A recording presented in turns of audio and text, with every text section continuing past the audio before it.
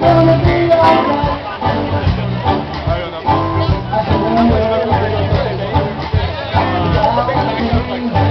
guys, we need everyone to back up about five feet, five feet, five feet.